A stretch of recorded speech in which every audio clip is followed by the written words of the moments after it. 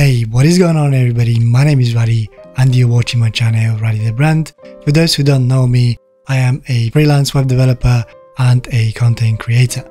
In this video, I want to talk about where my investment of time is going in 2022 and my reasoning behind it.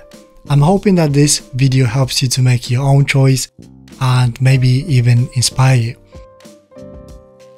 So to me life and business in general is about making progress. Web development can be an overwhelming profession. There is an unlimited amount of things that you can do and learn, which is I guess also the thing that makes it exciting. We have so many tools, languages, frameworks, methodologies, processes. It can be just an overwhelming, especially if you're getting started, I guess. Just picking up a JavaScript framework to use can be an extremely overwhelming process on its own, and I guess that's just the paradox of choice. I wanted to throw in a good quote that I found, which goes, Learning to choose is hard, learning to choose well is harder, and learning to choose well in the world of unlimited possibilities is harder still perhaps too hard. So what I'm trying to say here is that many of us get paralyzed by choice. Um, are we making the right decision? How much time uh, will it take? Can I do it? Will I like it? What do people think of it? Can I get a job with it? And these are all relevant questions that we ask ourselves all the time and nobody likes to waste their time anymore. So here is a solution that could potentially help you out and this is to do with the intent versus impact and I will soon expose what I'm going to learn and do in 2022. But uh, before we do that, let's talk about intent versus impact. So there is an old proverb that states the road to hell is paved with good intentions, meaning that while the intentions might be good, without proper follow through, the impact can be still bad. What are your intentions for this year? Are you going to learn a new language, framework, or tool? Are you focused on personal development and maybe even uh, building your own business? Are you looking to get a job or maybe even look uh, to get promoted in your current job? I think that once you have figured out your uh, intentions, once you have your intentions in place, hopefully the choice will be much easier to make Obviously, the next step would be to take action. Um, I can't tell you what to do, but I'm personally an overthinker, so the perfect ratio might be 20% of intent and 80% action for me. And the reason for this is because if I don't do that, uh, then I'll probably get stuck in a loop of overthinking everything and I'll just waste time and not accomplish anything.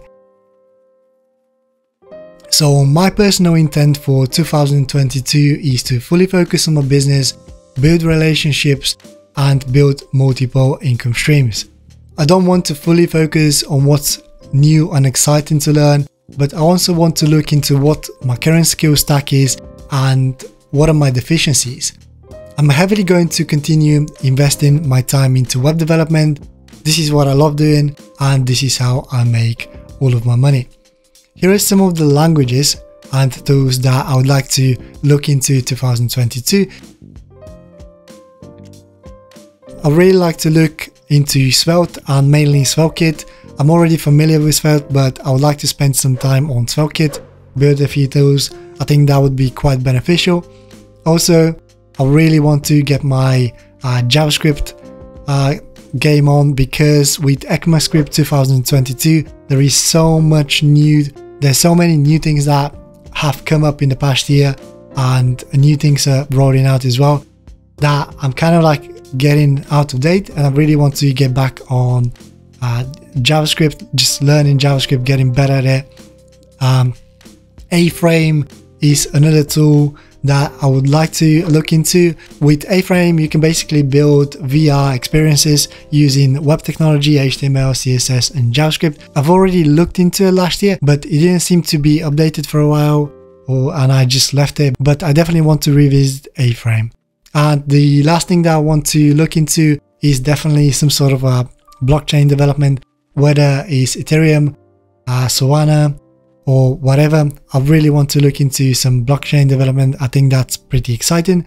And I also want to keep on top of my existing skills, be it Angular, Ionic, Firebase, WordPress, Node.js, Express, and overall website design, accessibility, usability, and so on. So I want to keep improving on the skills that I have.